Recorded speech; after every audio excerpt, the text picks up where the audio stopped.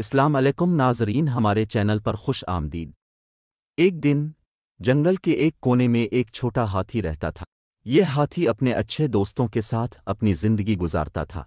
इसके दोस्त एक पेंगुइन, एक बंदर और एक खरगोश थे। एक दिन, हाथी ने अपना दिल बुरा कर लिया और वो अपने दोस्तों को बताने लगा कि वो दुनिया को देखना चाहता है।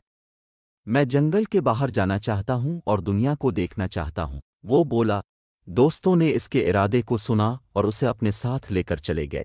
पेंगुइन ने कहा, हमें समंदर की तरफ़ जाना चाहिए। वहाँ बहुत खूबसूरती होती है। बंदर ने बात करते हुए कहा, हमें पहाड़ों की तरफ़ जाना चाहिए। वो भी बहुत ही खूबसूरत होते हैं। और खरगोश ने कहा, हमें मैदानों की तरफ़ जाना चाहिए।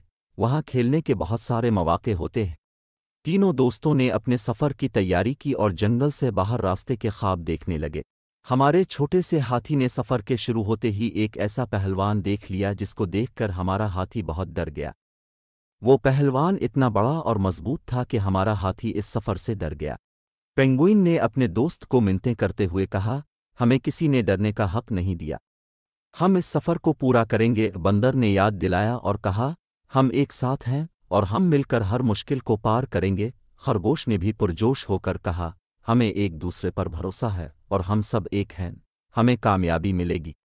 तीनों दोस्त मिलकर पहलवान के पास गए और इससे दोस्ती की पेशकश की। पहलवान ने दोस्तों की हिम्मत को देखकर कहा, तुम लोग बहुत ही बहादुर हो, मैं तुम्हारी मदद करने को तैयार हूँ।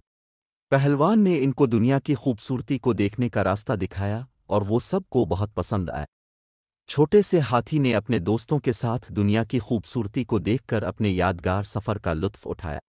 ये कहानी हमें ये सिखाती है कि दोस्तों की मदद और एक दूसरे पर भरोसा करने से हम हर मुश्किल को पार कर सकते हैं। चाहे हम कितने भी छोटे क्यों ना हों, हमारी मेहनत, शुजात और दोस्ती हमें कामयाबी की तरफ़ लेकर जा सकती है।